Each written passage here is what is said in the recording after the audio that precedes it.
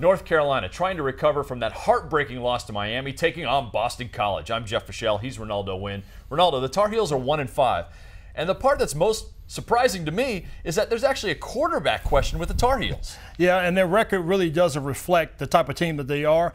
They shouldn't have anything to hang their head about, especially coming off this game. It definitely shows that they can play with anybody in the country. But with the quarterback situation, to your point, uh, you have Marquise Williams, who fits the Fedora system. He's more of a scrambler, but Bryn Renner, I know he's a little disappointed, but as a coach, you got to look for a spark any way you can. And whatever you can get a win, then if it's two quarterback system, so be it. So now they're going against the Eagles.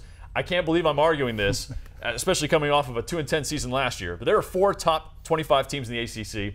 I'm going to make the argument right now Boston College is the fifth best team in the conference. Do you agree? I agree. They're doing exactly what Steve Addazio wanted them to do. In the beginning of the year, he's talking about establishing the running game, the physicality of the offense, and that would set the tone for the entire team, and they've done that. Andre Williams, who's been a superb runner, and he's licking his chops this week because he's going against a UNC team that's averaging 203 yards they're giving up against the run. So it'll be a great, interesting matchup. If you're doubting me, think of the one school in this conference that has fought both Clemson and Florida State tough, it is BC.